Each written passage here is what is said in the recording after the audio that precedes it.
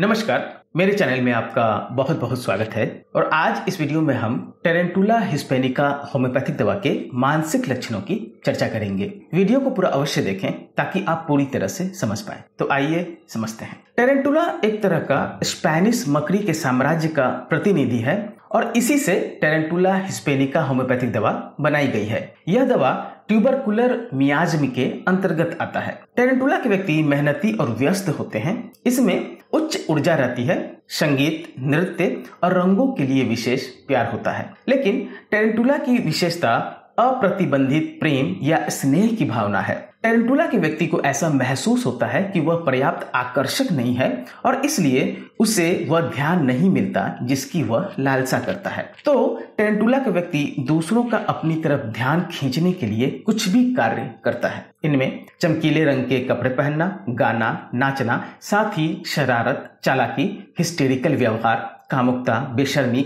धमकी देना जैसा व्यवहार सभी का ध्यान आकर्षित करने के इरादे से वह करता है। टेरेंटुला की स्थिति एक ऐसे व्यक्ति की होती है जो ध्यान आकर्षित करना चाहता है, लेकिन कर नहीं पाता। जैसे कि यह तब हो सकता है जब कोई व्यक्ति विशेष रूप से विपरीत लिंग का ध्यान आकर्षित करने का असफल प्रयास करता है। यह निराश प्रेम की स्थिति नहीं है, बल्कि एक तरफा प्रेम की स्थिति है। मेटेरिया मेडिकल में टेरेंटुला के विषय में एक वाक्य वर्णित है, एक तरफा प्यार के दुष्परिणाम। टेरेंटुला की एक अन्य मुख्य विशेषता जल्दबाजी है। जल्दबाजी और आवेग। यह सब टेरेंटुला को एक ट्यूबरकुलर आयाम देता है और इसे ट्यूबरकुलिनम के करीब लाता है। वास्तव में एक बच्चे में टेरेंटुला को ट्यूबरकुलिनम से अलग करना मुश्किल है, जिसमें आज्ञा का उल्लंघन, बेचैनी और बढ़ी हुई ऊर्जा प्रमुख विशेषताएँ हैं, क्योंकि ये सारी विशेषताएँ ट्यूबरकुलिनम में भी पाई जाती है और टेरेंटुला में भी पाई जाती है। संगीत की इच्छा टेरेंटुला के लिए एक मज़बूत पुष्टि है।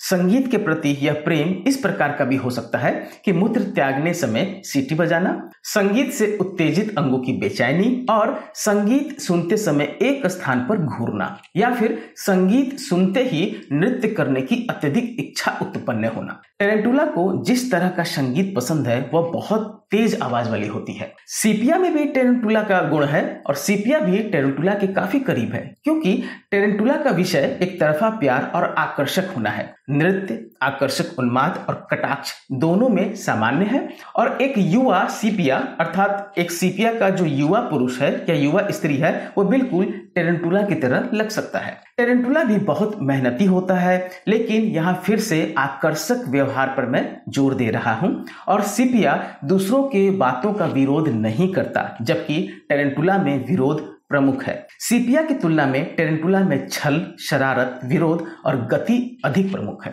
टेरेंटुला के मुख्य मुख्य लक्षणों की मैं यहाँ पर एक बार चर्चा कर देता हूँ। कि टेरेंटुला को क्या पसंद है और वो कैसा है? नीले, हरे, लाल रंग से वह मंत्र मुक्त होता है, वह चालाक है। पागलों की तरह नृत्य करना धोखेबाजी उनमें है। भ्रम है कि उस पर कोई हमला होने जा रहा है। वह अत्यधिक जल्दबाज होता है। हाँ मेहनती होता है। एक तरफा प्यार और निराशा मरने मारने की धमकी देता है। संगीत के प्रति विशेष रुझाव रखता है। राख खाने की इच्छा, अर्थात जो भस्म होता है, उसे खाने का उसे इच्छा करता है। हाथ में विशेष बेचैनी रहती है, तेज़ी से चलता है। बेचैनी कभी भी स्थिर नहीं बैठ सकता। मानसिक और शारीरिक रूप से अशांत, निरंतर गति में रहता है। संगीत के प्रति तो संवेदनशील है ही। दाहिने हाथ और बाएँ पैर से विशेष लगाव के साथ शरीर के विभिन्न हिस्सों की लगातार गति का बनाए रखना नींद के दौरान ही हलचल रुकती है। इसे खुली हवा पसंद है। हिस्टेरिकल स्वभाव, अर्थात ठीक होने के बावजूद बीमारी का वह दिखावा करता है। अकेले होने पर बेहतर होता है, मूड में अचानक बदलाव होता है। वह देखता है कि लोग उसे देख रहे हैं तो वह बेहोशी